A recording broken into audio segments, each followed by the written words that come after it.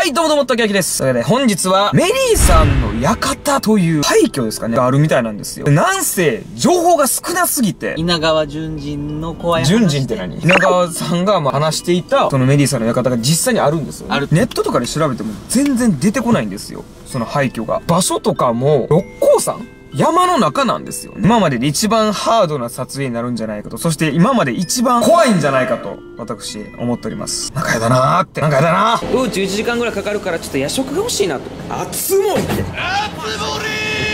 関係あれへんやんここすみませんあの熱森と出てしまいました失礼しました今回のメリーさんの館なぜメリーさんの館という名前なのか稲川淳二さんの中でも有名な話みたいなんで稲川淳二さんのメリーの館メリーさんの館あメリーさんの館の話を今から聞きたいと思いますちょっと流せないのではい。というわけで、えー聞きました。今、7分ぐらいですかね。あのー、滑舌めちゃめちゃ悪いわ。ほんまに何言ってるか分からんかった。ほんま分からんかったよな。かろうじて分かったのは、その、メリーさんの館に男2人が行って、じゃあそこで、外国人の子供の霊をたんですかね。んで、そこで失神かなんかして、気がついたらもう次はもう病院にいたらしいんですよ。もう一回探しに行こうって、メリに、メリーさんの館を探しに行ったら、もうその時は跡形もなく、なかったらしいです。ないんちゃう？ん でももしそんあったとしたらえ、やばない？かなりやばいやばいよな。で、なんかそのなんでか外国人の子供がおったかって言ったら、第二次世界大戦の時に、ドイツ軍が使っていた館みたいな、なんかそんな感じの、最後なんかもう、何てるかわからんわ。一番なんか嫌だな、やわ。もし見つけたらめちゃめちゃ怖いじゃないですか。でも、もっと怖いのは、なくてこれがボツになることが一番怖い。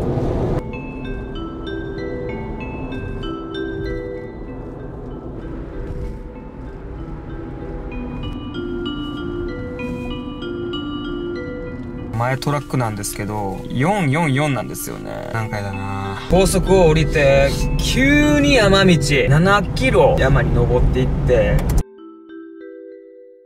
雨だ。雨が降っておる。君に会う日は不思議なくらい雨が動くって。はいというわけで車で来れるとこまで来たのであとは歩いて行きたいと思います。マジでほんまこれ都市伝説レベルですよね。あるの？そんまに。ナイトモードだと漏れる。竹明です。行きましょう。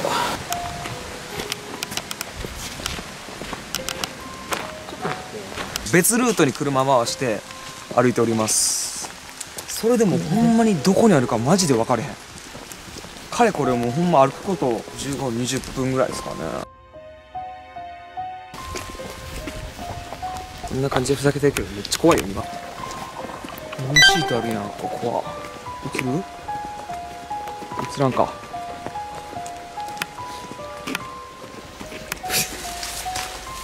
やばない？これ完全な獣道っすよ。伝わってるかなこの。おっとっとっとっと。ここしかないんすよこれ歩くとこ。え？あるの？こんなとこに。いてててあ道は一応続いてるわどうする？行く？あ左気ぃつけてよマジで。危ない。このひたすら下を見て。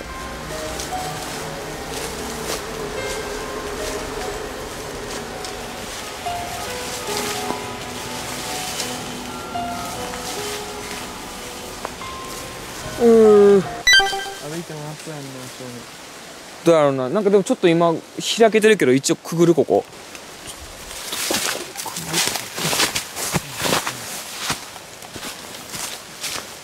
どうなってる？いや分からへんこれ以上は。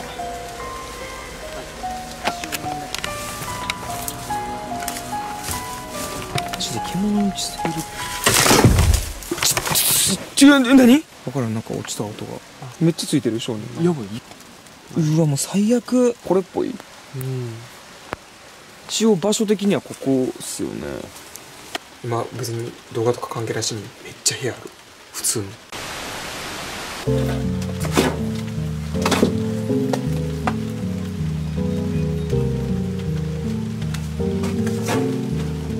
んな山奥にさ平成18年2006年ちゃんと映れへんなこれ。ちょっと待ってよ。椅子が2つある。え？何？何今の？